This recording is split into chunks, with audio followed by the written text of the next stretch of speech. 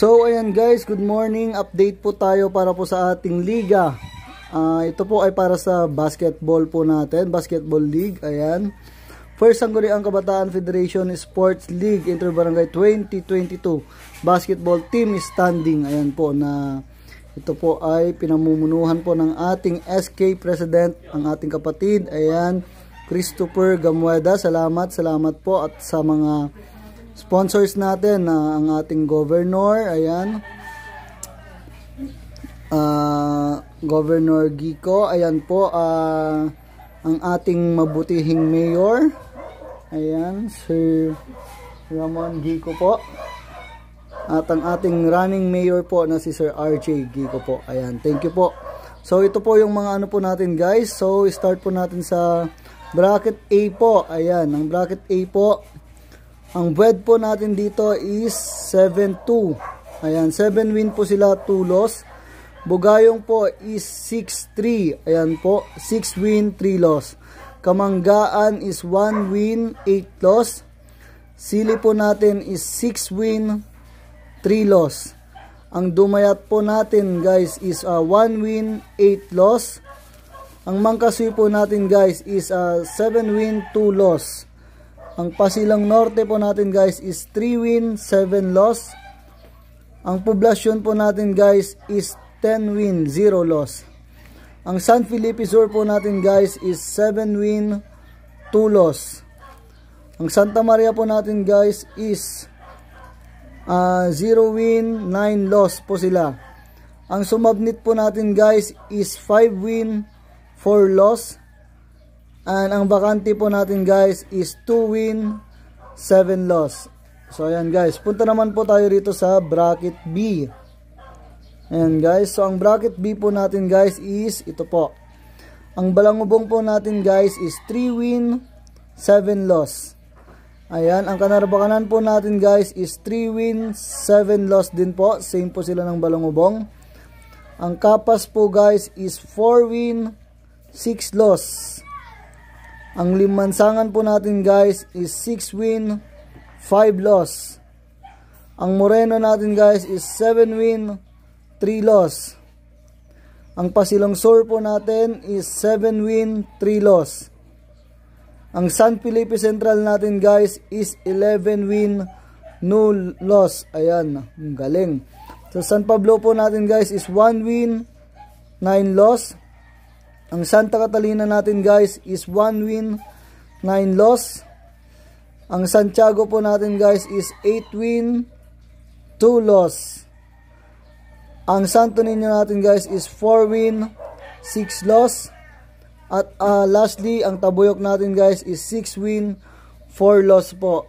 So ito po dito po sa mga standing uh, according dito guys at sa mga remaining games po na naiiwan.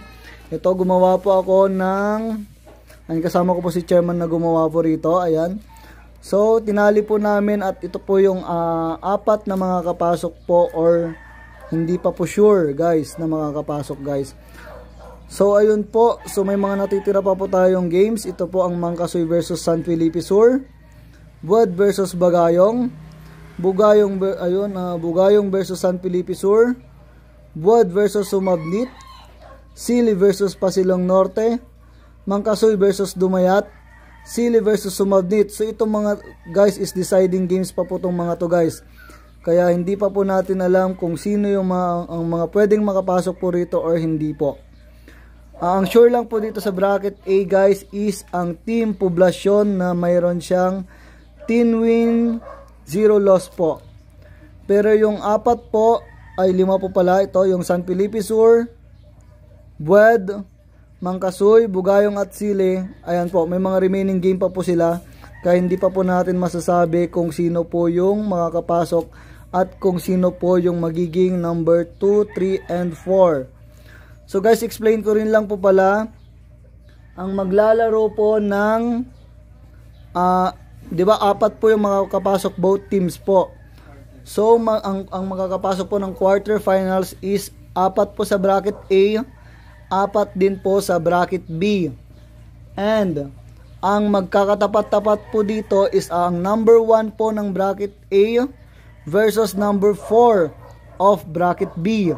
Same din po doon sa kabila. Twice to beat po guys yung 1 and 2 of both bracket bracket po rito guys. So bracket A kung sino po yung 1 and 2 po doon twice to beat same din po sa bracket B. Ayan po, dito po same din po rito sa bracket B. Ayan kung sino pong makakapasok po dito na 1 and 2 twice to beat po sila ng 3 and 4 doon sa bracket A. So bali magcro-crossover po sila doon guys, magcro-crossover po. So ayan guys, uh, balik po tayo rito guys. So ayan po. So poblasyon meron siyang 10-0. San Felipe Sur meron po siyang 7-2 pero kay meron po siyang mga kailangang kalabanin. Gaya po ni Bugayong at Mangkasoy pa po. So medyo mabibigat pa po yung mga laban po nila. So Buwed po is 7-2. Ayan, same. Bugayong din po ang mga kalaban po ni Buwed at Sumabnit guys. And Mangkasoy guys, 7-2 rin po siya. So si Mang Kasoy ang makalaban po niya is San Felipe Sur at tsaka po Dumayat. Ayan. So Bugayong po is 6-3 guys. Ayan 6-3. So ang mga ka, ano pa po ni Bugayong po rito is Bued versus San Felipe Sur. So kala, kailangan talagang manalo rito guys. Ang sili guys, meron tayong Pasilang Norte versus Sumabnit. Ito medyo ano, medyo mas mataas yung standard na makapasok ni, ni Sili kasi yung dalawang mga kalaro niya halos hindi na po papasok dito sa quarter finals. So tingnan natin guys kung ano yung ano rito guys ang mangyayari rito and panoorin pa po natin guys yung mga remaining games po natin guys. So ayan sa bracket B naman po ito guys. San Felipe Central ang nangunguna po rito guys. Meron pa rin po tayong remaining games po tayo rito. Moreno versus Santo Niño. Tabuyok versus Capas. Pasilang Sur versus Santiago.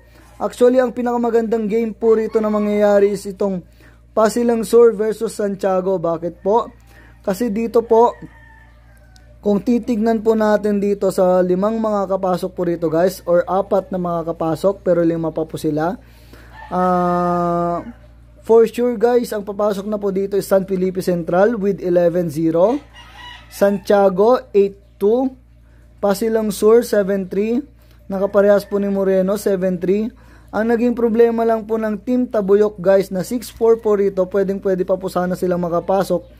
Kaso nga lang, tinalo po sila ng Pasilong Sur at Moreno guys. Kaya kahit na manalo po ang Tabuyok po rito guys, hindi na po sila makakapasok po ng top 4. So bali itong apat na to ang makakapasok na po guys. San Felipe Central, Santiago, Pasilong Sur and Moreno guys.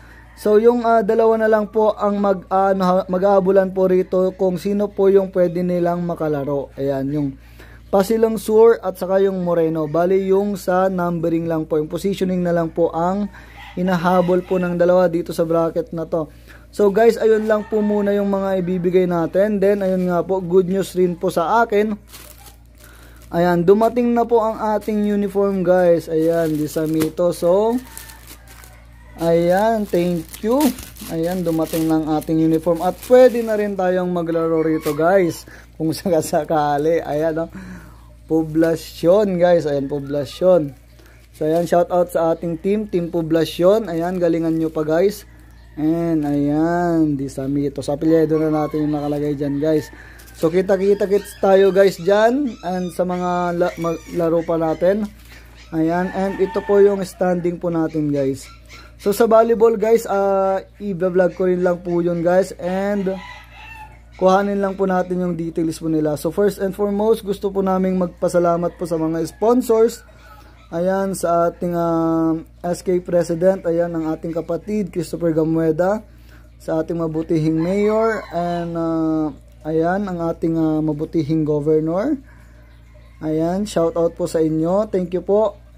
Sir Governor Gico and Mayor Gico and our running uh, mayor po na si Sir RJ Gico. Ayan, maraming maraming salamat po sa inyong mga support guys and sa mga katimpo nila. Maraming salamat po and God bless you all and ito na lang muna and goodbye. See you guys. God bless you all. and he's smoking on some loud